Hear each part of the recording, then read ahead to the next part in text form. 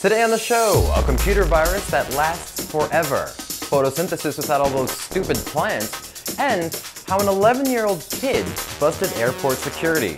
I'm James Papadopoulos, and this is TechSpank.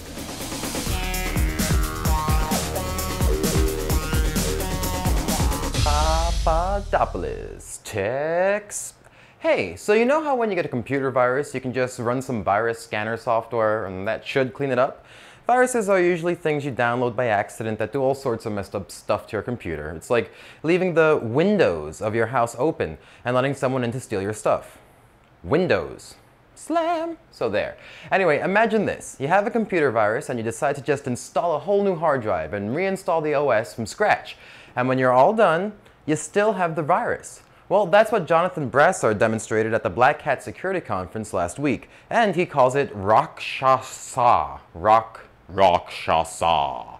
In case you don't know, the Black Hat Conference is where hackers get together and show everyone else how nothing is safe and why we should be scared shitless and hide our money under our mattresses. But I digress. Jonathan figured out a way to install a virus in the BIOS on the motherboard of a computer, basically making the entire computer the virus.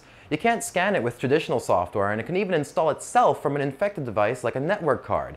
While there are some safety measures already put in place like cryptographically verified BIOS chips, it's still some scary shit.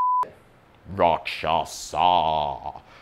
Up next, from computer security to airport security. Remember when you were a kid and your parents pissed you off so much that you just had to run away and teach them a lesson? Maybe join the circus? Maybe get kidnapped? Whatever, you need it out. Well, some 11 year old punk in England decided that he'd run away and somehow wound up sneaking onto a flight to Rome. How? All he had to do was pretend he was a kid in a large family that was already going through security, and they let him through. And then he booked it onto a flight to Rome, still pretending to be part of a family that was legitimately getting on the flight. And nobody checked his passport, which he didn't have, or his ticket, which he also didn't have. By the time the flight landed, they figured out that he didn't belong on the flight, and they kept him on the plane after everyone else got off, and then returned him to his mother, who was more than a little freaked out. While all the people involved have been suspended while this thing is investigated, and I'm sure the kid's gonna get in trouble too, I say, good for you.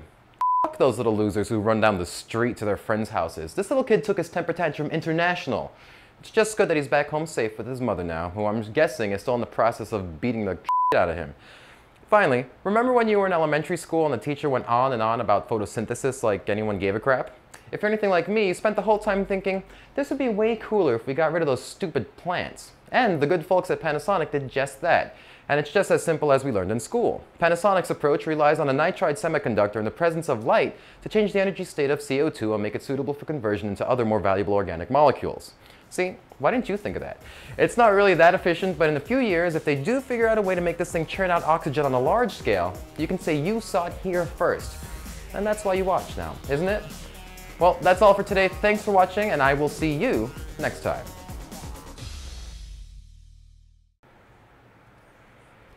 So what do you get when you have a busted air conditioner and a really humid day? A really short episode. Sorry.